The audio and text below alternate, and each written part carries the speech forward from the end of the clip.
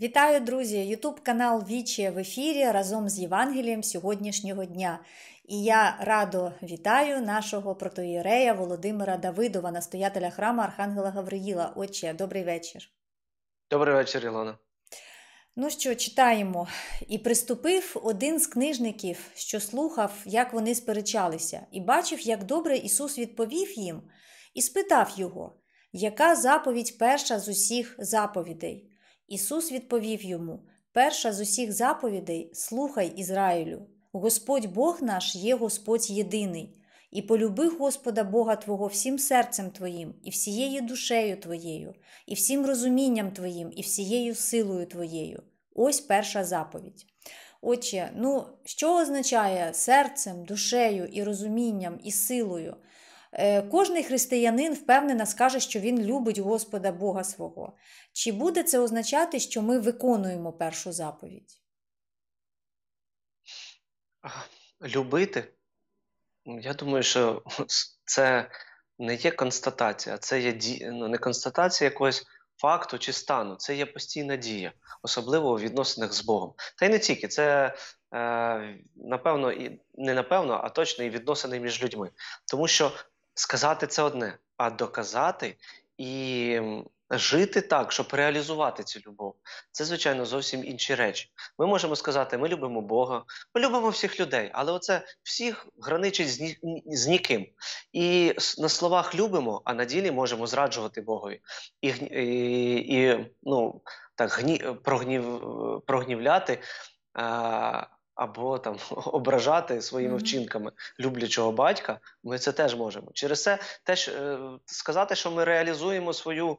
Е, Реалізуємо в своєму житті заповідь любити Бога, ну це трошки голослівно і так зухвало, тому що дійсно, якщо ми стежимо за собою і повернемось, глянемо в себе в дзеркало, е, заглянемо в свою душу, то побачимо, що наші вчинки якраз суперечать тому, до чого нас е, призиває Бог. І ми явно не в тому стані, в якому він би хотів нас бачити. Цікаво, що от е, у фарисеїв того часу були багато таких і законників, особливо ті, хто вивчали букву письма святого, а було, була проблема.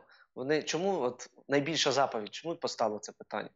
Тому що для них вони не могли оприділити, яка більша найбільша заповідь. Всі заповіді ділились на великі і на маленькі, на малі заповіді. Великі це все, що треба було робити. Те, що е, якби предписував закон -hmm. твої дії жертви приносити, там угу. воздавати за ущерб і, і, і, і багато чого іншого. Малі заповіді.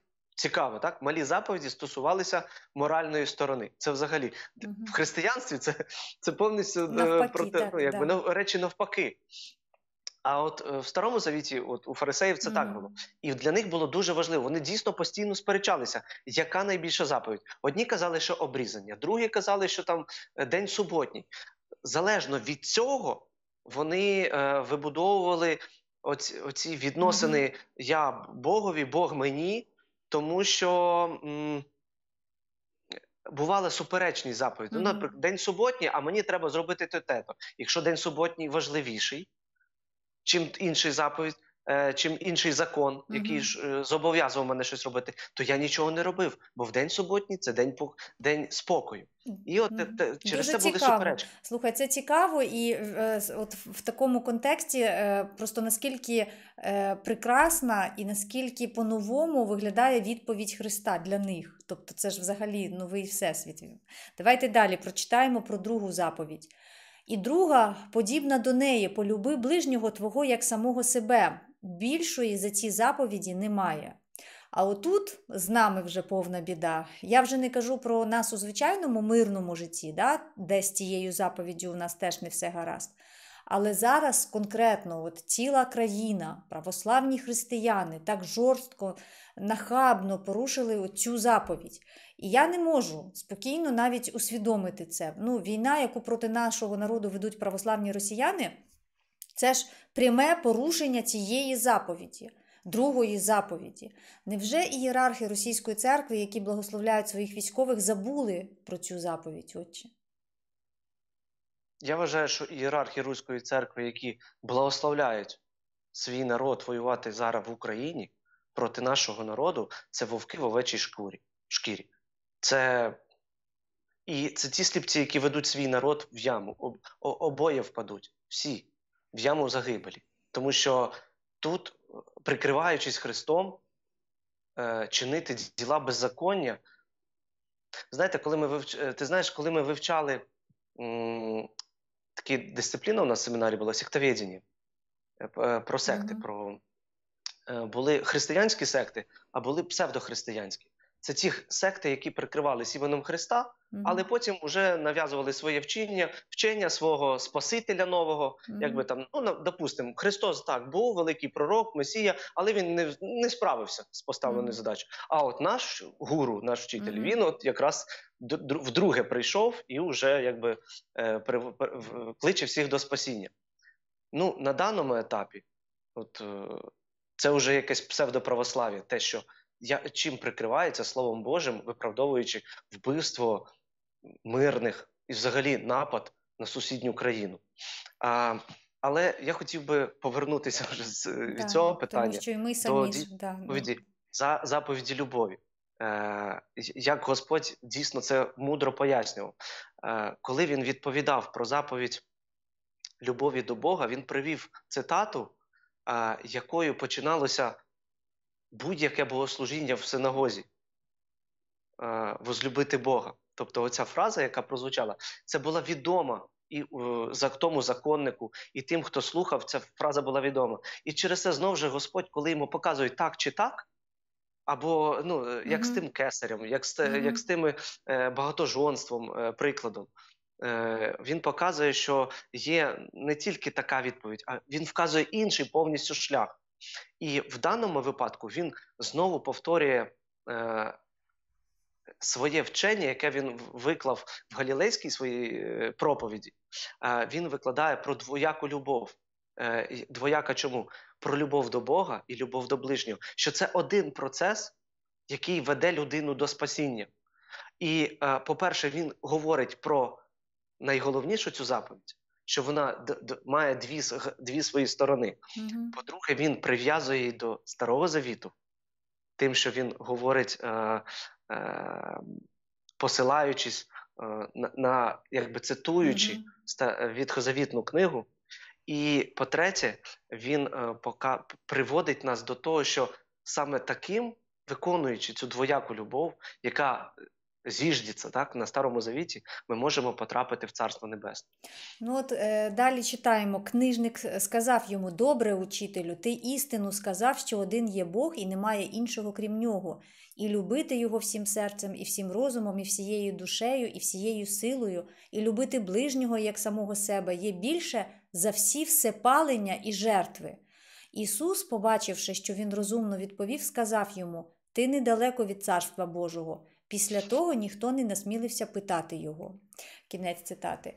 От е, Чи правильно я розумію, що цьому книжнику було достатньо промовити оці заповіді вголос, і Христос каже, що той уже поряд Царства Божого. Що це означає для нас? Адже ну, ми не просто промовляємо, ми там щодня намагаємося послухати Євангелія, там, ходимо в неділю і на свята до храму. Чи достатньо цього для наслідування Царства Божого?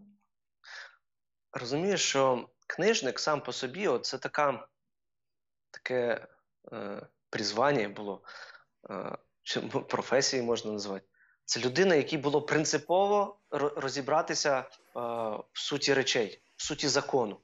І він підійшов до Христа, задаючи питання не просто аби задати, а його це дійсно турбувало. Турбувало не тільки його, а взагалі якби інтелігенцію того часу.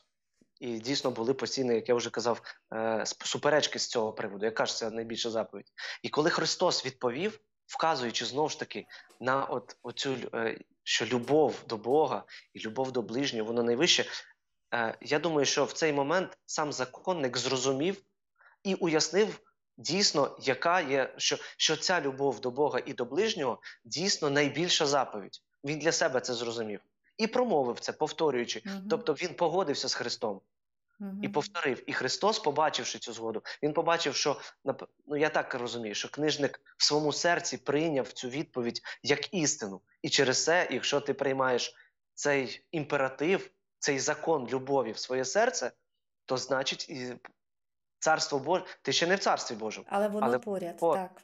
І от е, в цьому і полягає відповідь на твоє якби Так, друге питання. Правильно. Чи от ми любимо, е, як нам спастися, так? Чи це вже от реалізуючи цю любов? Ми ж ходимо кожен е, неділю, стараємось в храм, причащаємось, сповідаємось там кожної свято, піст е, Мгм. в храмі. Але розумієш, бути в храмі і приходити на службу це ще ж не є царство небесне. Треба ще в своєму житті його реалізовувати. Царство Боже всередині нас є, каже Христос. І всередині це значить реалізовується на тих почуттях, які зароджуються в нашому серці. Так. От, е, тобто, те, як ми реалізуємо, ходити в церкву можна. Можна поставити свічку, заказувати молебні, чи вичитувати кожного дня по 10 канонів, чита, е, за день вичитувати одне Євангеліє і так постійно. Але це ще не є спасіння, це є тільки засоби. Але чи е, ми можемо читати Євангеліє? А чи виконуємо ми його в своєму житті? Чи реалізуємо, чи слідуємо тим е, заповідям, до яких закликає Господь? Мгм. що Ну так, це щоденна робота. Так, Це щоденна робота, праця. безумовно. Мгм. Це ж не набір е, функцій, які ти виконав. Ну, І тобто, Галочки ти поставив, це зробив, це зробив, так, все. причастився, посповідався, а ще раз в рік соборуватись обов'язково, і все, я в царстві Мгм. Божому. Ні. Тоді ми стаємо такими, як ті фарисеї, для яких заповіді більші становили. По- по- Подати стільки то данини, е, не данини, а цей милостині, пройти стільки то кроків в суботу, е, по такі то Ну, жертви треба да. е, скласти. Тобто, це все Це зовсім про інше. Да. Ну, от дивись, останні слова сьогоднішнього Євангелія наступні. Продовжуючи навчати в храмі, Ісус говорив, як це кажуть книжники, що Христос є син Давидів.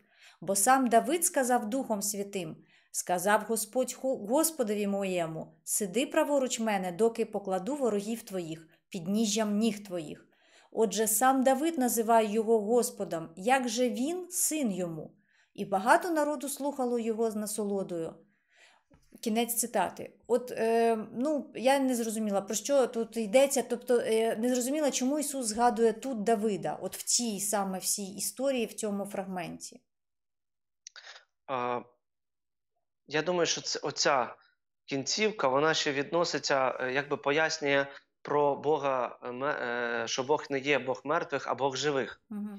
І якби перегукується з, ти- з, з тою темою, але і доповнює її. Справа в тому, що Господь цитує 109-й псалом Давида. Цей псалом, в принципі, його ну, можна назвати пророчим.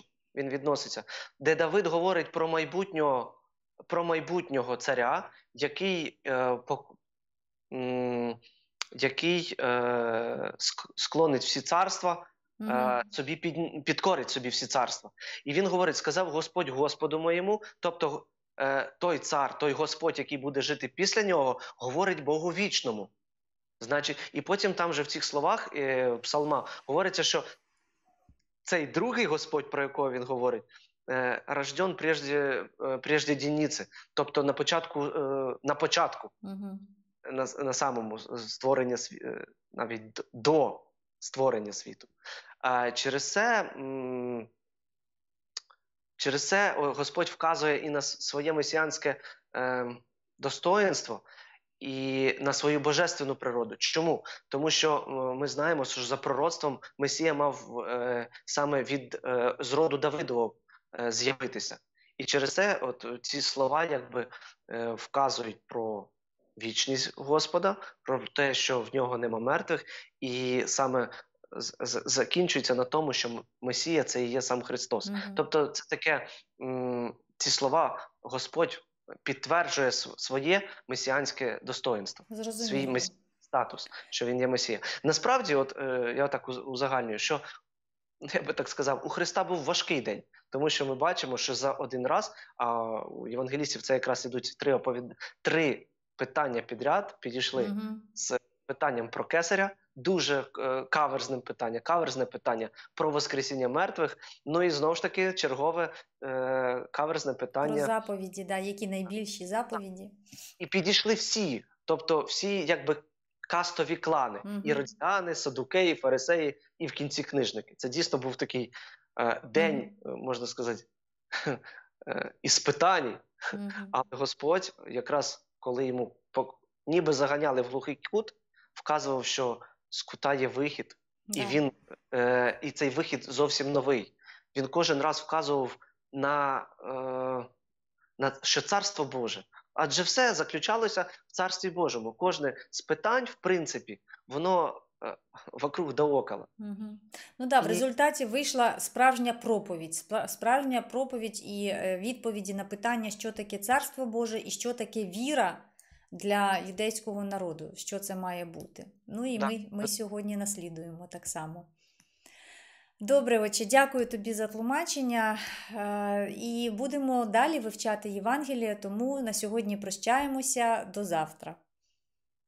До завтра. На все добре. Хай Господь благословляє і охороняє. Спаси Господи, до побачення, друзі. До зустрічі.